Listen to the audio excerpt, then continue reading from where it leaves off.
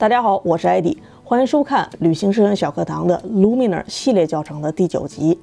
在后期照片的时候呢，总会遇到一些不想保留的元素，例如多余的游客、地上的树叶、井盖，再或者是想要把一个元素复制、克隆贴到另外一个位置。这些需求呢，在 Luminar 四中都可以得到满足，并且呀，它的效果还不错呢。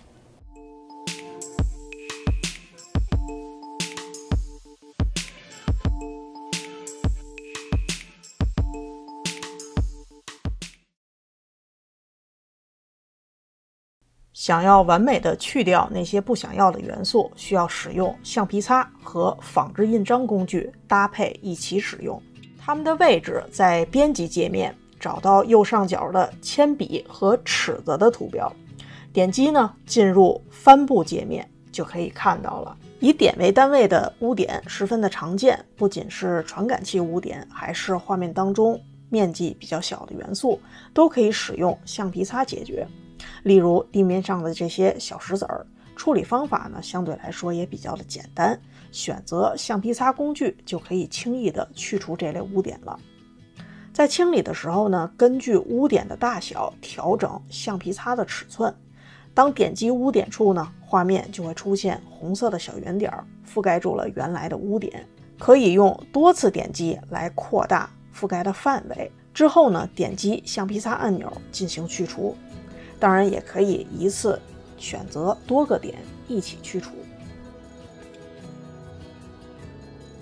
除了点形状的污点呢，比较常见的就是线性元素，例如电线、杆子等细长的元素。在去除这种比较长的元素时呢，有一个小技巧，可以使用橡皮擦，先在线的一端点一下，之后呢，把鼠标移动到线的尾端，按住 Shift 键。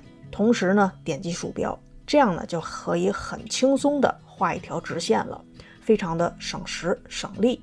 在背景环境比较复杂的时候呢，有可能会出现识别失误的状况。这里呢，分享另外一个小技巧，在去除的时候呢，先选择仿制印章工具，把这条线呀分解成几个部分，之后呢，我们再回到橡皮擦功能，分别去除分解开的几个部分。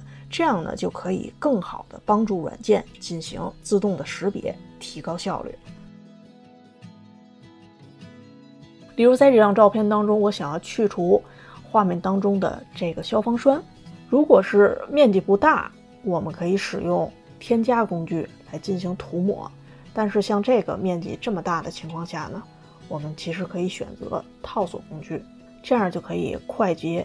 精准的选择我们想要覆盖的区域，用套索工具在想要覆盖的外沿给它走一圈儿，可以多选一些，不需要一定沿着边缘来选，这样可以提高它对边缘的识别度，这样覆盖的效果也会更好一点。OK，这样就选择完毕了。那么选择之后呢，会发现还有一些微小的局部。没有覆盖完全，这个时候可以选择添加，进行局部微小的修补。放大一点画笔，把下边的阴影也选择一下，缩小，把旁边的这些也都选上。之后呢，按下橡皮擦进行去除。软件自动去除的原理啊，是分析周围。相似的颜色和内容进行自动的填补，所以这类大面积的去除的识别呢，一定会出现填补内容重复的情况。在这种情况下呢，可以选择仿制印章工具来对局部进行复制修补。进入仿制印章之后呢，首先我们先要选择一个仿制的圆。我们先来修复马路牙子的位置，发现。仿制的位置并不理想，那么我们就换一个位置来仿制。这个时候呢，按下 Option 可以重新进行仿制源的选择，柔和度调低一点点。这个时候呢，我们就从复制印章当中看到了复制的内容。选择之后呢，就可以进行涂抹了。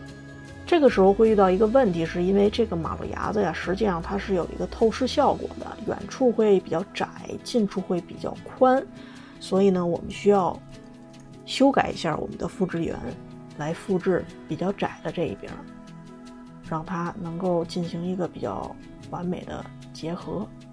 在仿制的过程中呢，仿制印章的面积越大，所复制的范围呢就会越大。这样呢，先从大的地方复制，然后呢，再去修补小的地方。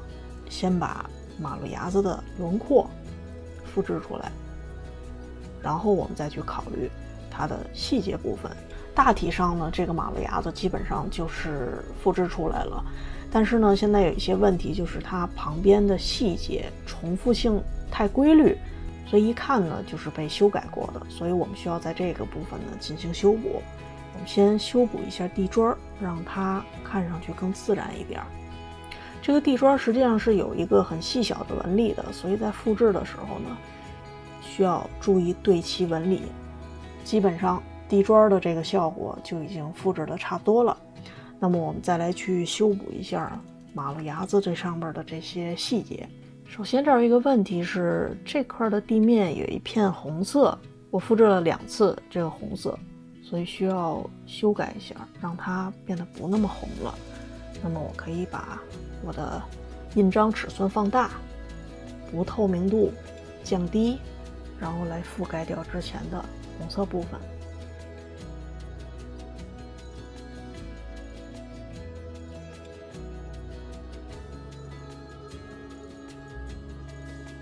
这个烟头也被复制了，所以我们需要去掉这个烟头，重新选择设置这个复制源，在它的旁边，然后呢去掉这个烟头。由于我这个不透明度选的比较低，所以一下呢去除不了，但是呢多点几下就会去除，这样呢也可以让去除的内容更柔和一点。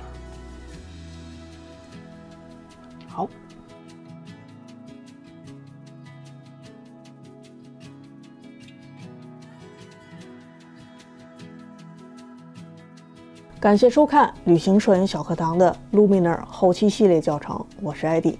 除了视频频道之外啊，我的微信和博客呢还会同时推出图文的版本，欢迎关注和订阅我的频道。